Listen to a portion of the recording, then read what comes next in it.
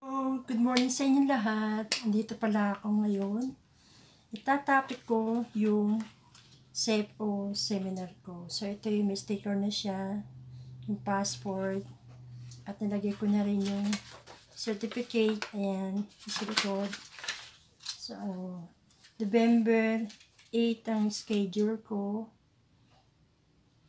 At 9 p.m. ang nakuha kong time para sa CFO seminar. So, 6 o'clock, umalis na ako ng Bulacan. So, 8, nakarating na ako ng Manila. So, nag-LRT ako.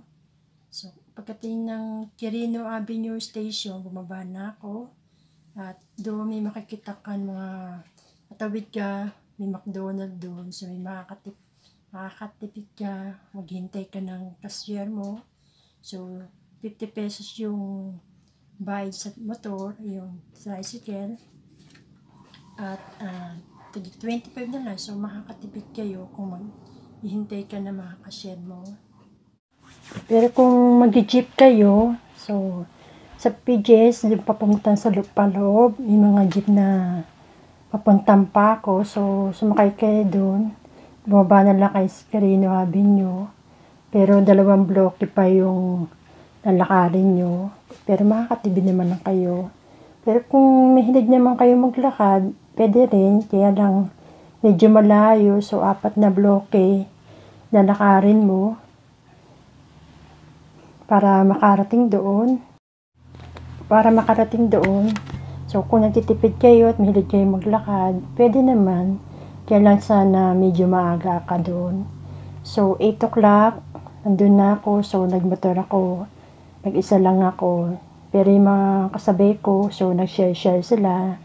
So, makakatipid kayo kung may kasabay ka sa tricycle. Pagdating ko doon, so marami ng tao sa labas. So, pumila na kayo. Time na yun, mga kasabay ko, mga lalaki. So, akala ko hindi ko pa oras na pumasok kasi 9 pa yung schedule ko. So, pumasok na kayo. Humingi silang tindihin mo na sa labas. Sa mga may, kung may kasama ka, maghintay yung kasama mo doon. Pero kung may bata naman, pwede naman isama yung kasama, kasama mo. So, hindi naman sila masyadong mahigpit. So, sa gate, mayroong guard doon. So, papakita mo yung appointment mo. So, iba, nakikita ko yung mga lalaki. Meron din akong kasabay ko na K1 visa na pinakita lang yung cellphone niya na naka-schedule sa doon. So, pwede naman pala yung kahit na hindi mo na print yung appointment schedule mo. So, so papasukin ka naman. Tapos, pupunta ka sa information uh, deck nila. So, iniintay, kukunin yung kung meron kang appointment uh, print na print na. So, iscan yun. Pero kung wala naman, kunin yung code na pinaka-code sa ilalim ng pangalan natin. So, kukunin yung number at titignan niya kung talaga naka-schedule ka doon sa time na yon. So, pagdating mo doon, check na yung appointment schedule mo ng guard, yung pangalawang guard. So, bibigyan ka na ng ID, pero kailangan mo ng ID ron. So, kailangan mo ng dalawang ID. So, kahit anong ID. So, yung una, doon sa guard, so bibigyan ka ng ID para makapasok ka doon. Tuturo, ka, tuturo niya kung anong gagawin mo, kung saan ka pupunta.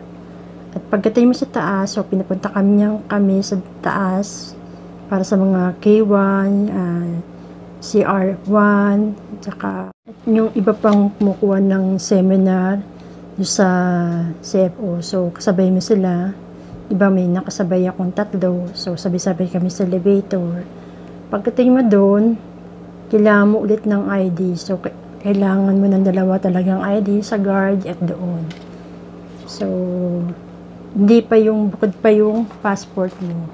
Pero bibigay rin naman niya yung ID mo. Uh, yung passport lang kailangan niya. So, pagdating doon, so pagkatapos na binigay mo na yung ID mo, bibigyan ka niya ng form, dalawang form, so maraming kang sasagutan doon. So, tungkol sa inyong dalawa ng fiancé mo, asawa mo. Ah, pero tanong niyo sa fiancé niyo o asawa mo yung full name ng mother niya. So, buti na lang ako, alam ko yung full name ng mother ng fiancé ko.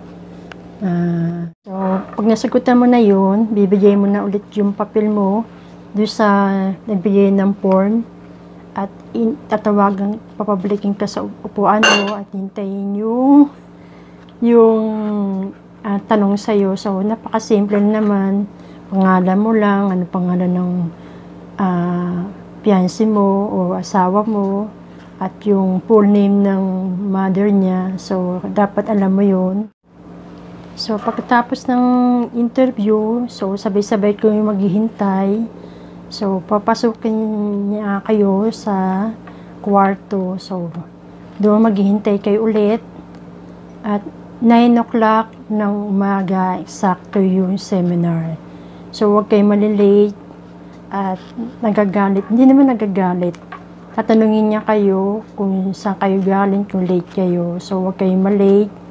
At kasi maraming pang sasagutan doon. So, dapat mga 8, nandun ka na tulad ko. O 8.30. Kung mabilis kayong sumagot. Madali naman mga tanong. Kaya lang nga, dapat 9 o'clock mag-start yung seminar. Tapos, doon pag-usapan nyo lang yung mga human rights, mga kung anong gagawin mo, kung kung nasaktan kayo ng asawa mo, fiancé mo, tapos yung tatanungin kayo kung lang, hindi naman isa, hindi naman lahat kayo, so tatanungin yung edad mo, edad ng fiancé mo, kung may anak yung fiancé mo, asawa mo, may anak ka na. So, ah, doon sa seminar na yun, ah, yun, pag-uusapan nyo lang yung mga personal na buhay nyo, tapos yung karapatan nyo, saka ah, yung kung anong gagawin mo, kung ano may mangyari. So, bibigay niya yung mga Facebook account nila, cellphone number, kung anong gagawin, kung ano embassy. So, sa akin, ang tinanong niya, ah, paano ko nakilala yung fiancé ko, kung ano nagustuhan ko doon, ah, kung ap- okay ba sa pamilya ko yung nap- napangasawa ko. So, hindi na naman nila ako hinanapan ng picture. So, tanongin lang niya nila yung mga simple question. So, Tagalog naman ang tanong. So, Tagalog din ang sagot. Ah, yun. Pagkatapos nun, ah, maghihintay na kayo. So, kukunin niya yung passport. So, passport lang kailangan. Hindi na kailangan ng birth certificate, sinumar, o ano pa. So, passport lang kailangan talaga. So, kasi nga, dito ilalagay yung sticker at yung ah, certificate. Ni-stapler ko na siya dito. So, ni-stapler ko siya para kung sakaling uh, umuwi ako ng Pilipinas, hindi na ako maghahanap pagbalik. O pagbalik ko dito, hindi na ako kailangan to sa So, kailangan ng SEP o sticker, certificate, kasi kailangan to sa immigration, doon sa airport. So, hindi ka makakaalis kung wala nito. So, i-check nila yung passport mo. So, importante rin to. Ah, at pagkatapos ng one-on-one interview pa kayo, so doon kayo lalabas. Palalabasin kayo sa isa, tatawagin kayo. So, ihandaan niyo yung passport mo. Kukunin yun. Ah, pagka tapos na yung one-on-one, one-on-one pala, so maghintay kayo sa baba, pababain kayo.